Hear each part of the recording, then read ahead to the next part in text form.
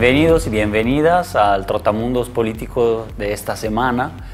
Vamos a tratar el tema de Ecuador. Volvemos a América Latina, eh, pues porque ha sido una semana muy, muy intensa de protestas en la calle, un paro nacional eh, previsto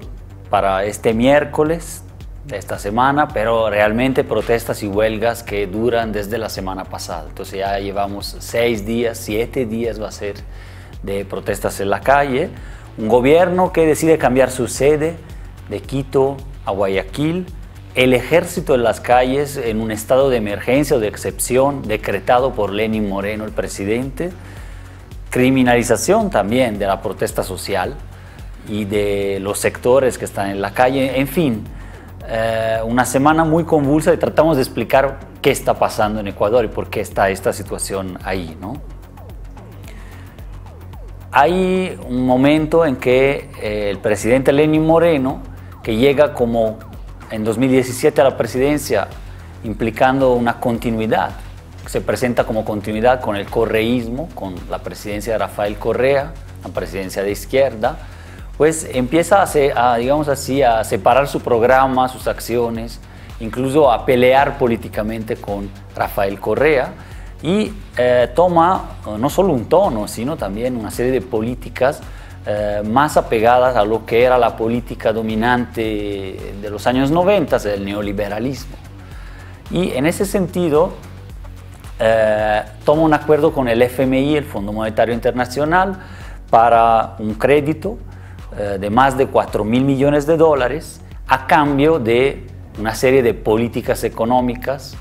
eh, que dicta eh, el Fondo Monetario. Eso no es nada nuevo en América Latina, es parte de una historia que ya conocemos bien,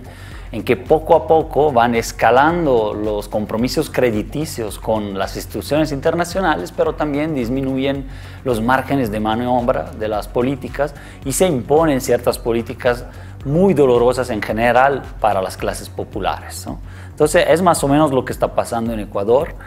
y básicamente este acuerdo crediticio implica que el gobierno aplique un plan de reducción de salarios,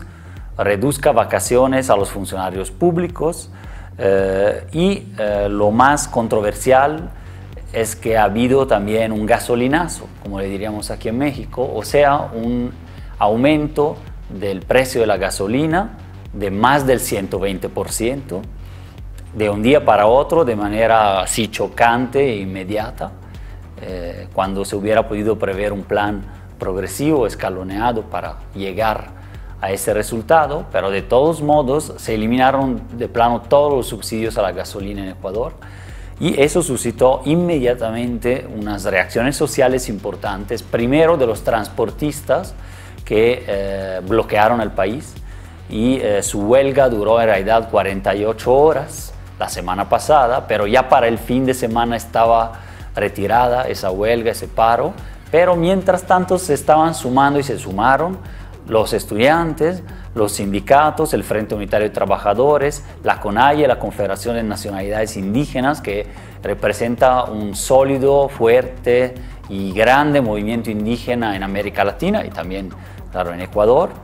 Y entonces eh, se fueron a las calles también, ya extendiendo la protesta de alguna manera eh, a lo que llaman el paquetazo, el paquetazo del FMI para Ecuador.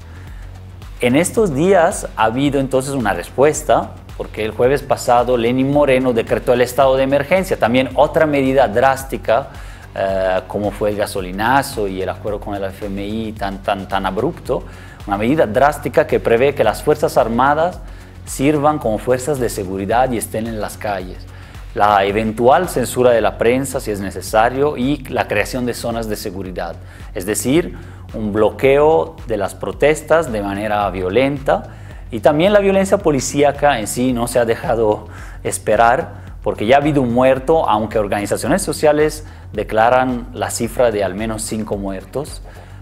Más de 500 detenidos en pocos días, decenas de personas heridas. Y por el otro lado hay militares retenidos por las comunidades, comunidades indígenas, las cuales incluso declararon el estado de excepción en sus propias comunidades como respuesta eh, también simbólica y material frente al estado de excepción oficial decretado por el gobierno. Y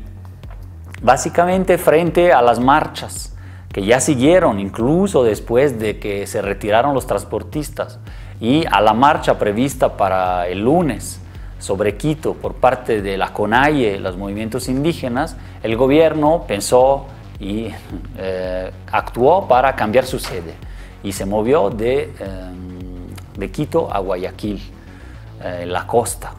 Entonces la ciudad de Quito ahorita está ocupada prácticamente por el movimiento indígena, pero también hay un contingente que se mueve a Guayaquil y muchas otras ciudades se sumaron a la protesta eh, frente a la dureza del presidente que básicamente dice que no habrá marcha atrás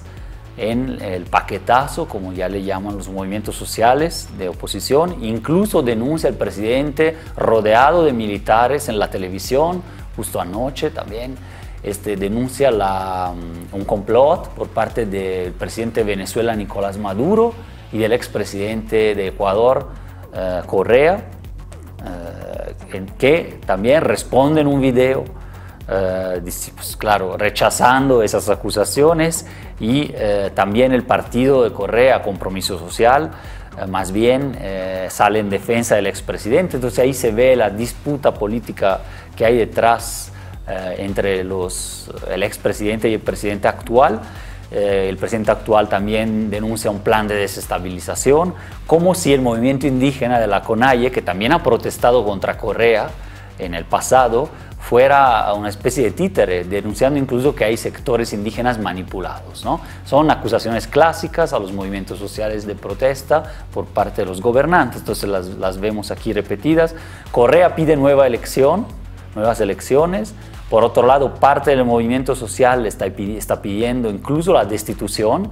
de eh, Lenin Moreno. Recordemos que tanto en los 90 con el presidente Bucaram como en el principio de los 2000 con Lucio Gutiérrez sí hubo destitución del presidente con movimiento social en las calles. Eh, entonces sí se logró. Entonces no son antecedentes, como decir, tan lejanos como para no pensar que el Lenin Moreno también pueda ser destituido y de hecho por eso también creo que cambió la sede de, de donde despacha el gobierno a Guayaquil para estar más protegido ahí